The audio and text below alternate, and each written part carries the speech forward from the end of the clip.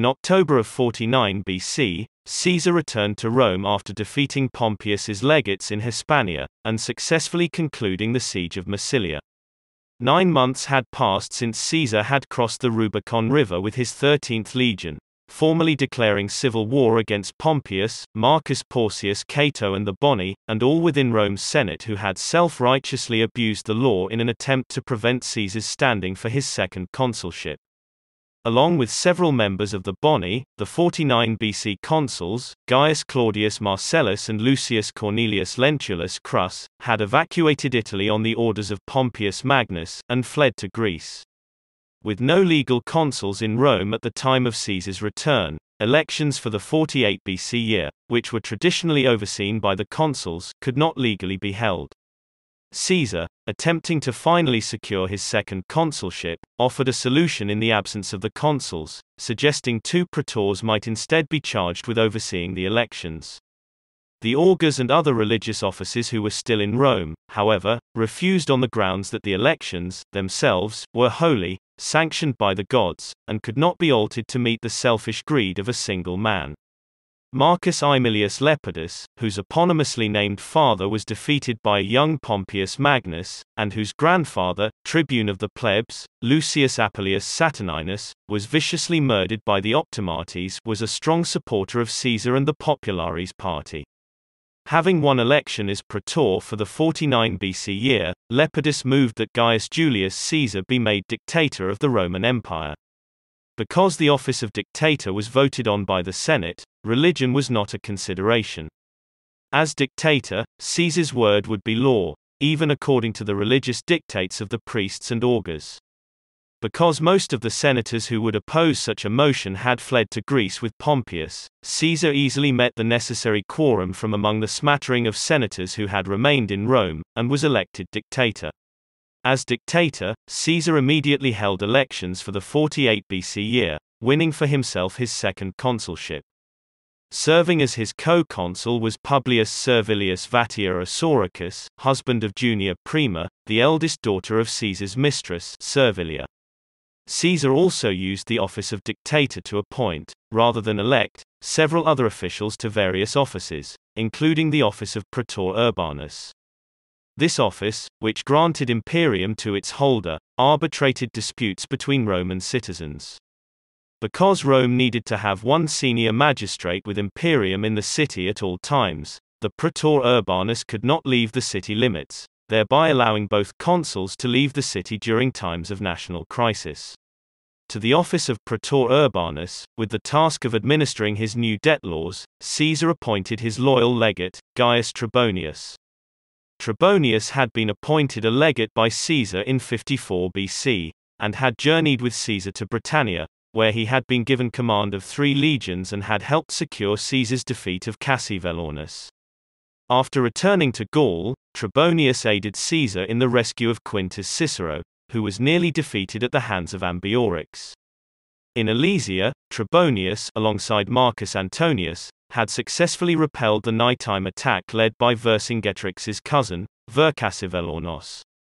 At the end of 50 BC, when Caesar received word that then consul, Gaius Claudius Marcellus, had asked Pompeius Magnus to take up arms and protect Rome from Caesar, Gaius Trebonius had moved his troops into Aedui territory, where he'd waited until Caesar ordered him to march to the town of Massilia, where Trebonius concluded a successful siege.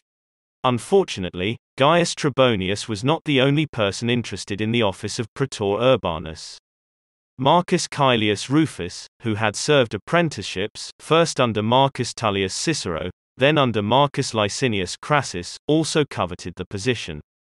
Leveraging his ongoing friendship with Cicero, who had even defended Caelius in court when Caelius's lover, Clodia, a sister of Publius Clodius, had accused him of attempted poisoning, Caelius sought to keep the orator neutral, urging him not to make an enemy of Caesar. For rendering this service to Caesar, Caelius had his eye on the office of urban praetor, where he meant to use the position to orchestrate the cancellation of his own personal debts, which were astounding.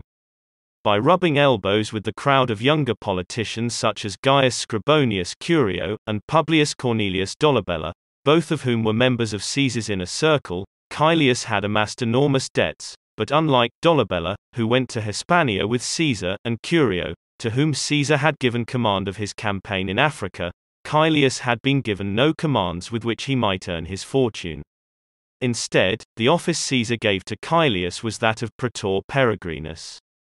This office, which came without the protection of imperium, oversaw disputes between Roman citizens and non-Roman citizens, and since the lenders who held Rome's politicians within the folds of their togas were all citizens, Caelius's new office was of no use in pursuing his financial freedom. To make matters even worse, Caesar's new debt laws, administered by Trebonius, robbed Caelius of the opportunity to outright cancel his own debts, as Caesar's laws only granted extensions to those in debt, and regulated less stringent fees for late payments. As a protest, Caelius, in his capacity as praetor peregrinus, set up his tribunal within earshot of Gaius Trebonius's tribunal as praetor urbanus. Day after day, Caelius called out to those who appealed to Trebonius, promising that if they felt cheated by the Praetor Urbanus, he would listen to their cases with a more favorable disposition. But day after day, no applicant took Caelius up on his offer. What use was a Praetor Peregrinus within the jurisdiction of the Praetor Urbanus? Frustrated at not having pulled any supporters from Trebonius, Marcus Caelius Rufus began agitating for a law which would grant people one year's free rent, and another law for a general cancellation of debt. As Rome had learned during the conspiracy of Catilina, a call for general debt cancellation was a signal for revolution. Those who stood to benefit from debt cancellation and a year's free rent, suddenly began to rally around Caelius, until his group grew large enough to become a threat to Gaius Trebonius.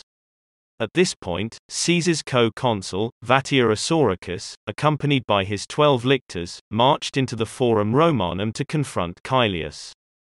Caelius and Isauricus nearly came to blows, but Isauricus, as consul, held imperium, making it illegal, and punishable by death, for Caelius to lay hands on him.